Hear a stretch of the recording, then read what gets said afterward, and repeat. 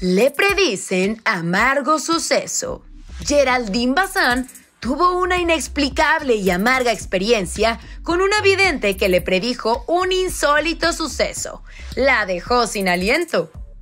¡Cielos, qué macizo! La revelación la hizo la actriz en el reality Secretos de Villanas, el cual sigue estando en el ojo de la polémica debido a los agarrones que se han dado sus protagonistas y por la cantidad de trapitos al sol que se han echado en cara. Se han dado con todo. En uno de sus recientes episodios, Geraldine explotó, pero no en contra de una de las villanas de telenovela, sino en contra de la vidente María Luisa, quien estuvo como invitada en el show. No se esperaba lo que le revelaría. No me esperaba eso.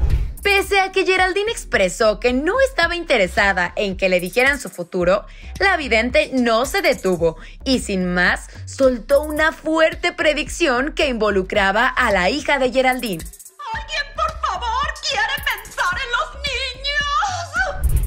María Luisa reveló que la hija de la actriz tendría un trágico accidente. Así lo predijo.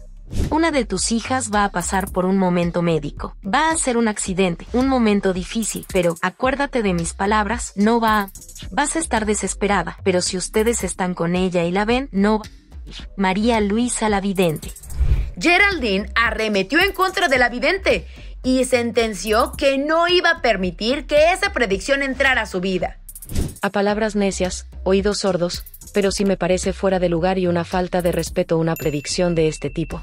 No voy a dejar que me afecte ni entre en mi vida. Esta predicción no vale. Geraldine Bazán. ¿Qué opinas? ¿Crees que se pasó de la raya la vidente al lanzar esa predicción sobre la hija de Geraldine?